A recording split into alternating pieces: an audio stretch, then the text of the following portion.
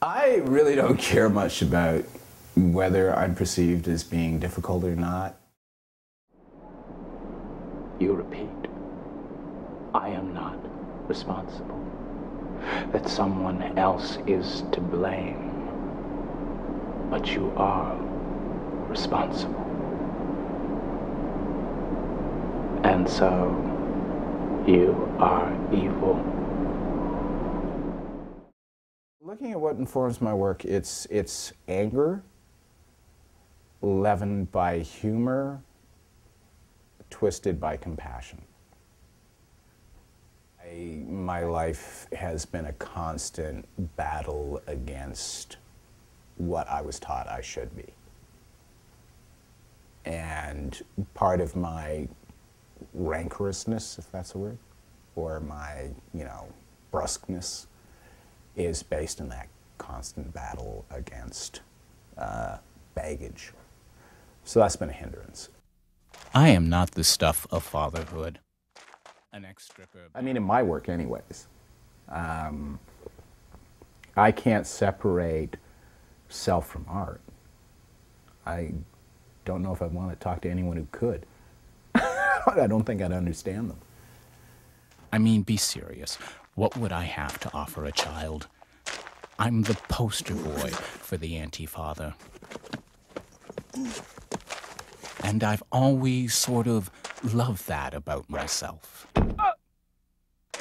My bubble of blackness had such rage and anger, self hatred, hate. It, it had so many negatives attached to it that I had to burst out of it. I had to like, I, in order to survive it, I had to humanize it.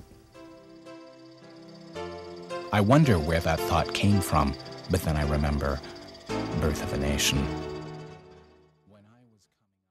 Because I spend so much time exploring my own dysfunction, uh, I'm really interested in general dysfunction. So what I largely do is ex explore black male dysfunction in my work. Right. Uh, and that being a part of a greater human dysfunction. It's just like, like a window on an aspect of human dysfunction that I know and that I have fun with and that I love. Now everybody thinks black men are super dogs. Media expose, super freaks can't keep it between their legs and go on Springer to get some play canine. Cause our bark is loud. Well, I got news for you, little brother. A dog is a dog is a dog. uh, I've done a few things, I suppose, uh, from selling shoes to running drugs in cars to being a stripper to being an actor to being a professional ballet dancer. I guess the latest one would be a full-on dad.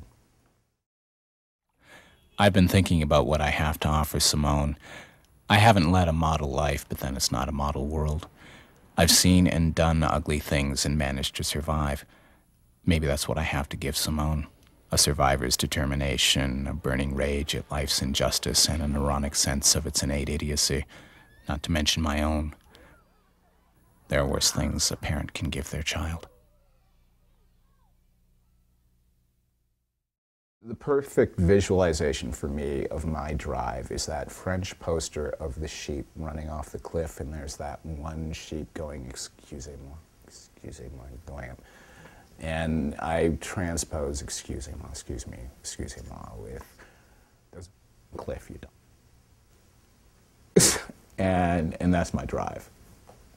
Right? There's a cliff. You know, stop running.